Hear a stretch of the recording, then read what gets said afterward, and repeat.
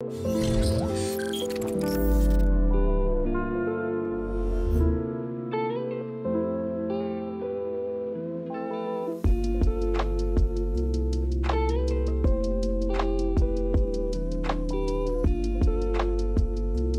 Have you ever held a product in your hand and wondered just how in the world a brand managed to make it? Well, the Asus ZenBook S13 OLED was one of those products for me. This incredibly thin notebook feels like it came through a wormhole from the future. A future where we have advanced so far in tech that thin and light notebooks perform just the same as bulky powerhouses and somehow pack all the fancy tech you need at the same time. Right from the moment I got my hands on the Asus ZenBook S13 OLED, I kind of felt like I was in for something new. Even the packaging came in biodegradable cardboard that is so green it felt rough. You know when something has been recycled to the moon and back that it is literally the most natural source of material you can find. That's the box here. From the cardboard handle to the flimsy and light compartment box, this is Asus at its peak of green, and I love it.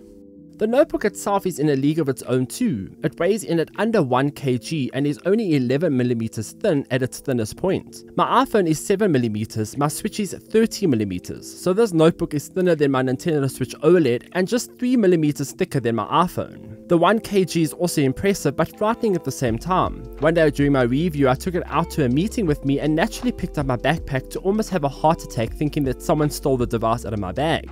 I'm so used to lugging my heavy MacBook around that, that this device felt like there was nothing in the bag in the first place.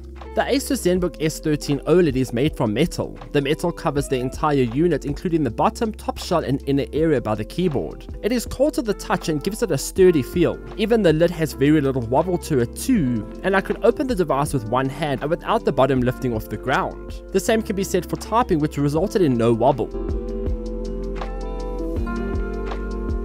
On the top of the notebook there's the Asus ZenBook logo etched into the metal. There's also a bit of text. At the bottom there's two tiny vents for ventilation and two large rubber strips for grip. In terms of the ports, on the left you'll find two USB-C ports with Thunderbolt 4 support. There's also an HDMI 2.1 port. On the right there's a USB 3.2 port and an audio jack combo.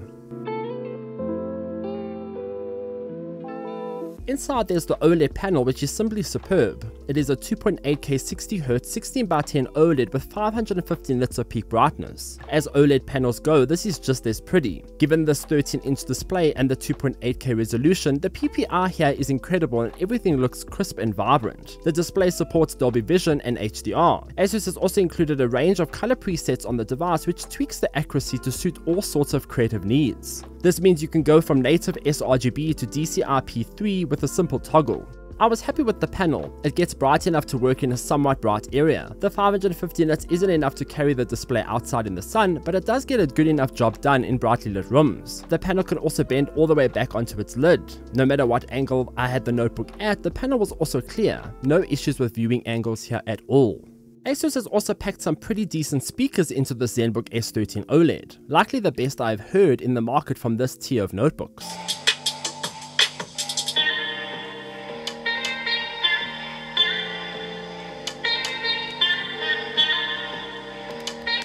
It doesn't beat Apple's supernatural MacBook Pro speakers, but there's definitely some fancy tech in here. The sound packed some decent punch, and even at max volume, the sound was impressive. It even gets, it even makes listening to music pleasant. Again, this will never replace a headset, and there's almost no bass here, but the speakers are noteworthy simply because of the size of this notebook.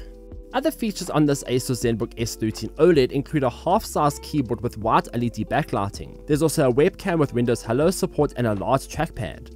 The keyboard is nice to type on and the slight angle of the base which is formed thanks to the lid acting as the feet helped with my wrist rest. The backlighting also got bright enough to see what was happening all the time. The webcam is okay, the Windows Hello support works well in all environments and the IR blaster also makes it possible to function in the dark. The quality of the webcam on the other hand wasn't as great. It is again a 720p camera and the lens is a bit blurry. It doesn't handle dark areas very well either, but it will do. There are some cool features here such as head tracking and noise cancellation on the microphone which will make all Zoom meeting people jump for joy. The trackpad is also great, it is large enough to perform gestures and I didn't feel like it got in the way. Clicking on it was also satisfying too which helped to get around.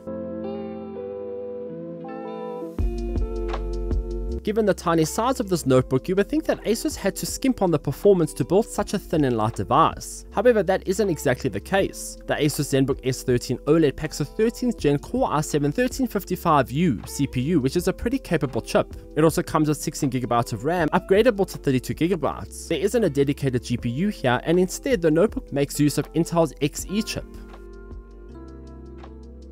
The performance tests on the notebook showed that while the 1355U isn't the most powerful CPU, it gets the job done. On paper, the scores aren't top tier, but you won't even notice an issue here. The combination of the CPU and the SSD and the wafer-thin design makes this notebook a dream to work on. I had almost no lagging even with dozens of internet tabs open and watching videos at the same time. You'll easily be able to edit some photos too, and even do some light video editing. The Intel Xe GPU will also carry the odd game here and there. You'll easily be able to get away with some light gaming. However, given my current obsession with Diablo 4, I wanted to test out if the CPU runs the game. Diablo 4 has a special graphics mode for low-end GPUs called Low FX mode, and I have to say this notebook did a fairly stable job running the game. I had to crank everything down to the lowest possible setting and enable Low FX mode, but I managed to play the game at around 30 FPS at 1080p. Sure, the visuals are a bit of an eyesore, but hey, you're playing Diablo 4 on this crazier than notebook and it is an achievement on its own. The battery on the Asus ZenBook S13 OLED is a 63 watt per hour cell and it performs as expected. I got max 6 hours of internet browsing and daily work done before I had to plug it into charge. I could get it to last longer but that would have to mean compromising on the performance and the display brightness at the same time.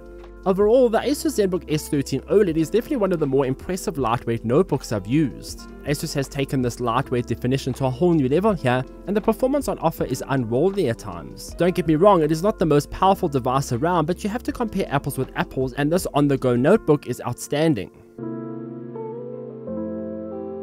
And those are my thoughts on the Asus ZenBook S13 OLED. Are you looking at picking one of these devices up? Let me know in the comments down below. Also be sure to like and subscribe while you're here and visit www.glitched.online for more gaming tech news and reviews. Until next time, farewell.